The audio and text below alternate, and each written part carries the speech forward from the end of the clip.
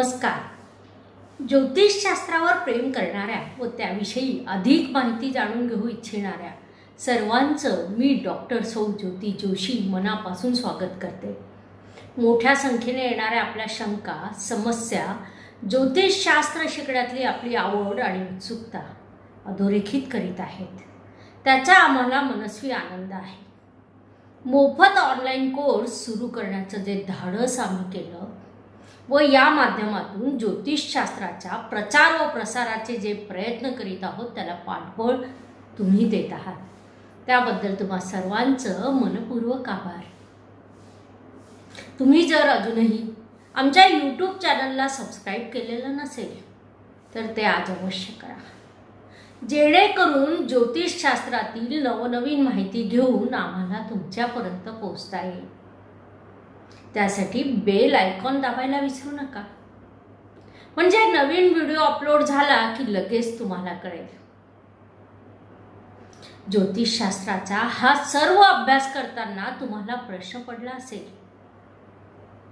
पत्रिकेतील ग्रहस्थिती बघून जातकाच्या आयुष्यातील शुभ व अशुभ काळ सांगता येतो तर मग मृत्यूचा काळही बघता येतो का?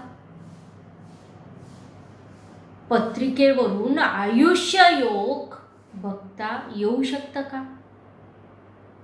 जर बघता येत असेल तर मग तो कसा बघावा? या प्रश्नाचं उत्तर हो असं आहे. त्यासाठी ज्योतिषशास्त्राचा खूप सखोल असा अभ्यास असावा लागतो. अभ्यासाद्वारे पत्रिकेतील विविध योगांचाही अभ्यास करावा लागतो. त्यावरून तो काळ ओळखता येतो. मात्र जातकाला आयुष्य योगाविषयी किंवा त्याच्या मृत्यूविषयी सांगणे हे ज्योतिषासाठी व्यर्थ आहे. हा एक प्रकारे अलिखित असा नियम आहे. तरीही ज्योतिषशास्त्राचे अभ्यासक म्हणून तुमच्यासाठी मृत्यूचे कारक असलेल्या योगाचं विश्लेषण व त्याचा अभ्यास आवश्यक आहे. त्याचाही संबंध ग्रहांच्या महादशेशी आणि आंतरदशेशी येतो. म्हणूनच आजच्या भागात आपण आयुष्य योग या विषयाचा अभ्यास करणार आहोत. तसेच या विषयाचा संबंध फक्त मृत्यूशी नाही तर जातकाला आयुष्यात होणाऱ्या कष्टांशीही आहे. सर्वसाधारणपणे ज्योतिषाकडे माझ्या पत्रिकेतील आयुष्य सांगा. किंवा माझा मृत्यू कधी होणार आहे हे सांगा यासाठी कोणी येत नाही. त्यांनाही माहिती असतं की या गोष्टी हे सांगत नाही किंवा या गोष्टी यांना समजत असतील यावर त्यांचा विश्वास नसतो.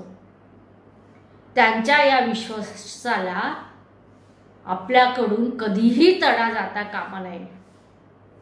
म्हणजेच या गोष्टी आपण त्यांना कधीही सांगता कामा नये. मात्र ज्योतिषी या नात्याने आपल्याकडे जेव्हा पत्रिका जुळवायला जातक येतात तेव्हा पत्रिकेमध्ये आयुष्य योग हा नक्कीच बघितला पाहिजे. मुलगा व मुलगी या दोघांच्या पत्रिकेत सर्व काही छान जुळत आहे. मात्र दोघांपैकी एकाचं आयुष्य कमी असेल. तर ती पत्रिका जुळवण्यामध्ये कोणताच शांतपणा नाही. एक प्रकारे आपल्यावर विश्वास ठेवून पत्रिका जुळवायला आलेल्या जातकाची अप्रत्यक्षरित्या फसवणूक आपण करीत असतो. समजा पुढे काही अनर्थ घडल्यास दोष पत्रिका मिलनाला म्हणजे ज्योतिषशास्त्राला दिला जातो. त्यामुळे ज्योतिषशास्त्रावर अविश्वासही दाखवला जातो. आयुष्य योग बघताना हे गरजेचं नाही की आपण तो जातकाला किंवा पत्रिका जुळवण्यासाठी आपल्याकडे जे जातक आले असतील त्यांना त्याविषयी सांगितले पाहिजे. आपल्याकडे येणाऱ्या लोकांचा आपल्यावर व ज्योतिषशास्त्रावर विश्वास असतो. म्हणून ते पत्रिका जुळवण्यासाठी आपल्याकडे आलेले असतात. समजा एखाद वेळी संपूर्ण गुणमिलन चांगले होत असेल आणि एखाद्याच्या आयुष्य योग कमी असेल तर पत्रिका जुळत नाही किंवा गुणमिलन होत नाही असं सरळ सांगून टाकावं. ज्योतिषशास्त्राचे अभ्यासक व सेवा करते म्हणून ती आपली जबाबदारी आहे. ज्योतिषशास्त्रानुसार आयुष्याला तीन भागांमध्ये विभागल्या जाऊ शकतं. पहिला भाग हा अल्पायू असतो. तो जन्मापासून बत्तीस वर्षापर्यंत आयुष्याचा असतो. दुसरा भाग हा मध्यम आयु असतो. तो बत्तीस वर्षापासून ते चौसष्ट वर्षापर्यंतचा असतो. आणि तिसरा भाग हा पूर्णायू असतो. तो चौसष्ट वर्षापासून पुढचा असतो. पत्रिकेतील ग्रहांच्या बाबतीत अल्पायू मध्यमायू व पूर्णायू सांगायच्या झाल्यास लग्नेश व अष्टमेशानुसार ते कुठल्या राशीत आहे किंवा कोणत्या तत्वाच्या राशीत आहे यानुसार त्यांची वर्गवारी ठरत असते. ती वर्गवारी आता आपण आधी समजून घेऊया. पत्रिकेतील लग्नेश व अष्टमेश. हे एकाच वेळी स्थिर स्वभावाच्या राशीत असतील तर ते जातकासाठी अल्पायू ठरतात. लग्नेश असलेला ग्रह स्थिर स्वभाव राशीत असेल व त्याच वेळी अष्टमेश असलेला ग्रह चर स्वभाव राशीत असेल तर ते जातकासाठी मध्यमायू ठरतात. याशिवाय पत्रिकेत लग्नेश असलेला ग्रह स्थिर स्वभाव राशीत असेल आणि अष्टमेश असलेला ग्रह द्विस्वभाव राशीत असेल तर ते जातकासाठी पूर्णायू ग्रह ठरतात. पत्रिकेतील लग्नेश द्विस्वभाव राशीत असेल व त्याचवेळी अष्टमेश चर स्वभाव राशीत असेल तर ते जातकासाठी अल्पायू ठरतात. पत्रिकेमध्ये लग्नेश व अष्टमेश हे दोन्ही एकाच वेळी द्विस्वभाव राशीत असे असतील तर ते जातकासाठी मध्यमायू ग्रह ठरतात. याशिवाय लग्नेश असलेला ग्रह द्विस्वभाव राशीत असेल त्याच वेळी अष्टमेश असलेला ग्रह स्थिर स्वभाव राशीत असेल तर ते जातकासाठी पूर्णायू ग्रह ठरतात. पत्रिकेतील लग्नेश चर स्वभाव राशीत असेल अष्टमेश द्विस्वभाव राशीत असेल तर ते जातकासाठी अल्पायू ठरतात. तसेच लग्नेश चर स्वभाव राशीत असेल आणि अष्टमेश स्थिर स्वभाव राशीत असेल तर ते जातकासाठी मध्यमायू ठरतात. याशिवाय लग्नेश व अष्टमेश असलेले दोन्ही ग्रह एकाच वेळी चर स्वभाव राशीत असेल तर ते मात्र जातकासाठी पूर्णायू ठरतात. एकंदरीत लग्नेश व अष्टमेश यांच्या स्थानानुसार हे नऊ नियम आहेत ज्याद्वारे आपण ओळखू शकतो की जातक मध्यमायू दीर्घायू अथवा अल्पायू आहे. हे पटकन समजण्यासाठी आम्ही एक तक्ता बनवलेला आहे. तो मी डिस्क्रिप्शन बॉक्समध्ये टाकते. या पद्धतीने आयुष्याचा अंदाज आपण काढू शकतो.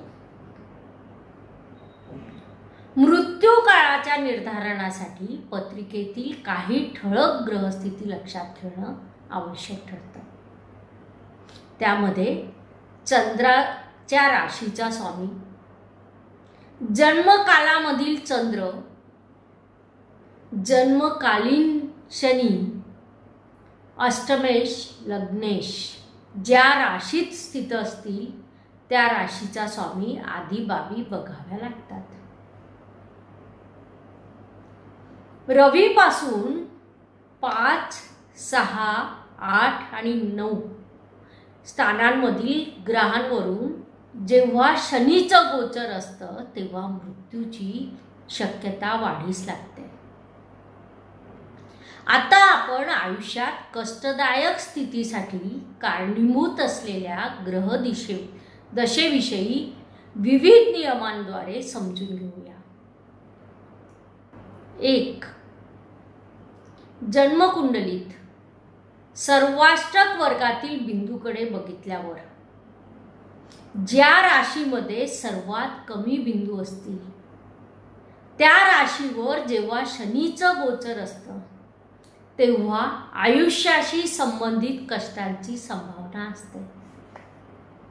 दोन कुंडलीतील षष्टम अष्टम व द्वादश स्थान हे त्रिकस्थान असतात. या त्रिकस्थानाचे स्वामी आपल्या महादशा किंवा आंतरदशेमध्ये जातकाला अशुभ फळ प्रदान करून मृत्यू तुल्य कष्ट देत असतात. तीन कुंडलीतील द्वितीय स्थान व सप्तम स्थान हे मारक असतात.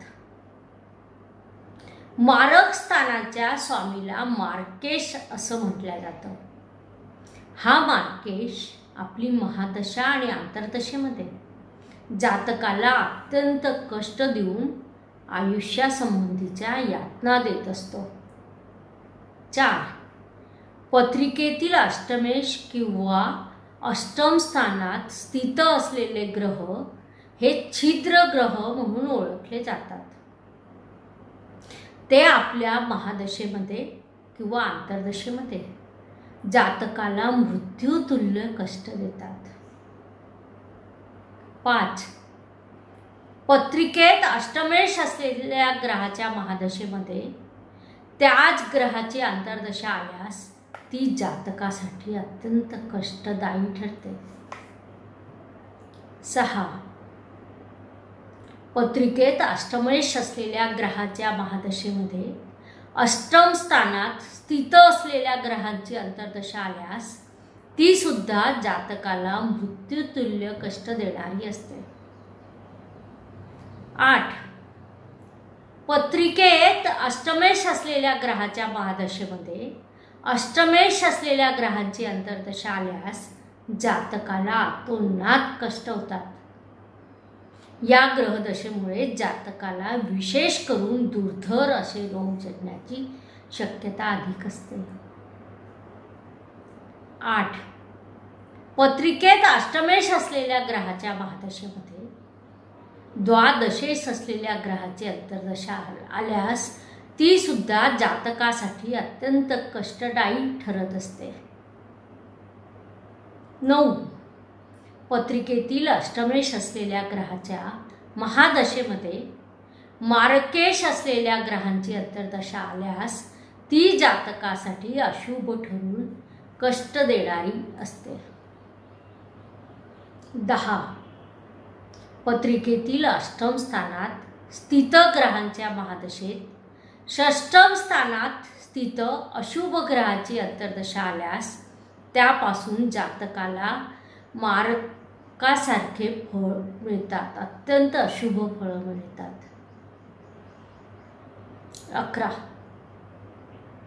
पत्रिकेत द्वादश स्थानाचा स्वामी असलेल्या ग्रहांच्या महादशेमध्ये द्वितीय स्थानाशी युती करणाऱ्या ग्रहाची अंतर्दशा आल्यास ती सुद्धा जातकासाठी अत्यंत कष्ट देणारी ठरते. बारा. पत्रिकेत द्वादशे स्थानात असलेल्या ग्रहांची महादशा व द्वितीय स्थानात असलेल्या ग्रहांची अंतर्दशा यामध्ये जातकाला मृत्यूतुल्य कष्ट व यातना सहन कराव्या लागतात. तेरा. पत्रिकेत षष्टम स्थानाचा स्वामी असलेल्या ग्रहाच्या महादशेमध्ये अष्टम स्थानाचा स्वामी असलेल्या ग्रहांची अंतर्दशा आल्यास त्यापासून जातकाला अशुभ फळं मिळून अत्यंत कष्ट मिळतात. मृत्यूसाठी कारक असलेल्या व मनुष्यासाठी कष्टदायक असलेल्या ग्रहयोगांविषयी समजून घेण्यासाठी एवढी माहिती पुरेशी आहे. आजच्या भागात आपण इथे थांबूया. पुढील भागापासून आपण पु विविध योगांचा अभ्यास करणार आहोत. ज्योतिषशास्त्राविषयी एकेका विषयाचा आपण अभ्यास करीत आहोत. हे सर्व शिकण्यासाठी आपला उत्साह नक्कीच वाढला असेल. मात्र त्याबरोबर हेही सत्य आहे की ही सर्व शास्त्रीय माहिती असल्यामुळे एकदा ऐकून समजण्याची शक्यता कमी म्हणून व्हिडिओ पुन्हा पुन्हा बघा.